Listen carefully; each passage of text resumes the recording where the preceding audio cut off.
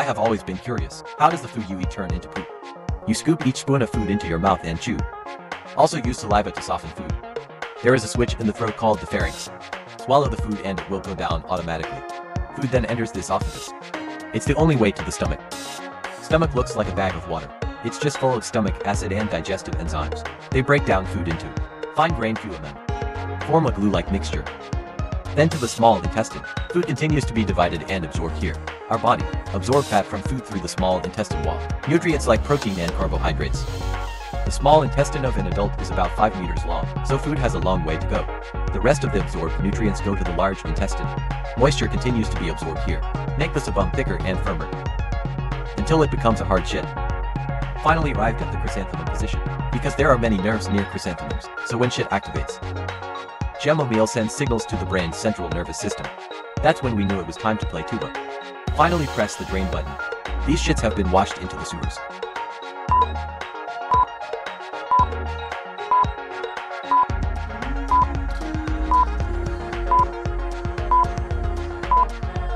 Whoever invented the toilet is a genius. Since then, the size has become more elegant. Do you know how toilets work? The toilet is made up of a water tank and a toilet bowl. Now remove the tank and see what's inside. This is the water inlet of the tank, with control rubber valve. Install another battery. When pressure is applied to, water inlet will be blocked. Otherwise, it will release water. Water goes through the faucet into the tank. Now seal the water inlet. Add an outer plastic handle. Then install the screw on the water inlet. The other end of the spike handle is the float. When the inside of the tank starts to swell, while the float floats, it also slowly touches the top of the water until the tank is filled with water. Finally install a plastic bowl and connect with flush handle. After flushing, water will flow out through the faucet below. When the water level is lower than the percent value, the water inlet will open until the water fills the tank again. Let's practice it now. This damn thing fell in the toilet. You press the flush button. Strong stream of water coming out through the faucet.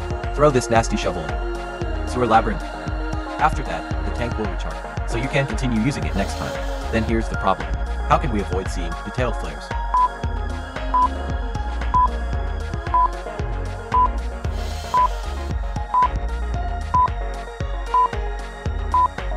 MRI is undoubtedly the greatest invention. In the history of medicine, we still have to rely on imports for this device. It can see lesions in different parts of our body. What is the principle of this? In fact, most of our bodies are made up of water. Hydrogen nuclei in water. When we lie on the machine, the original chaotic river of atoms, under the interference of strong magnetic field, start to line up and move in the same direction. Different tissues have different water content. The diseased tissue also changed the water composition of the area. The resulting signal can then be picked up by the machine. After the transformation through digital regeneration technology, you can see this familiar image. The hydrogen nucleus in the human body will return to its original shape. Therefore, magnetic resonance will hardly harm the human body. Then why MRI? Is it possible to scan a certain part? Thanks to the radio frequency coil, it sends pulse signal to part. Only in this way can the human body be stimulated to resonate. When the magnetic resonance device is running, create a very strong magnetic field, up to 3 Tesla. In comparison, ordinary magnets are only 0.001 Tesla. In order to avoid the occurrence of reverse magnetic metal, failure to do so may result in serious injury.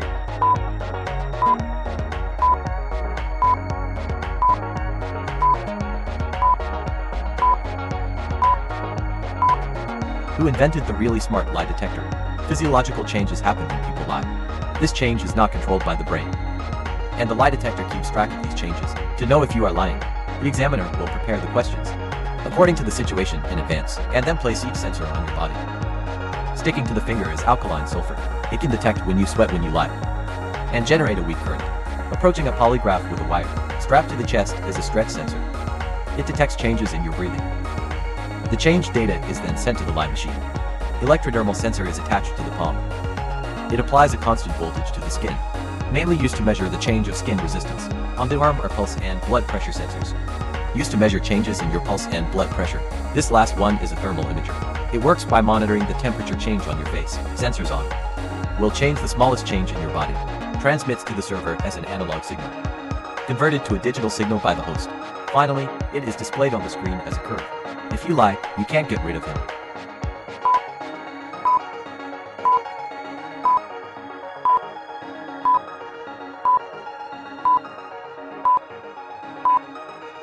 CT scan is a miracle in the history of modern medicine. Unfortunately most of these devices are still imported. CT can really see through our bodies. What kind of magic principle is this? The reason is the X-rays emitted by CT. X-rays cannot be seen with the naked eye. Rays can pass through matter. The density and thickness of different parts of the human body are different, naturally absorb different amounts of X-rays. After digital conversion, high-density parts like bones are white. Low-density parts such as the lungs are grayish-black. There is a difference between a CT scan and an X-ray. X-ray scanning produces overlapping images, can clearly show fractures and other conditions, but affects the internal organs less. While CT, to some extent, it can be said to be an enhanced version of X-ray. When CT is running, it is rotating at high speed. Only in this way can the human body be irradiated and cut at 360. There is a light source on the left that illuminates the subject in the center. We cannot judge the shape of an object, but as long as the light source rotates 360 degrees around the object, the shape of the object is clearly seen. That's why CT rotates at high speed. Therefore, CT scans take longer than X-rays. This naturally also produces more radiation.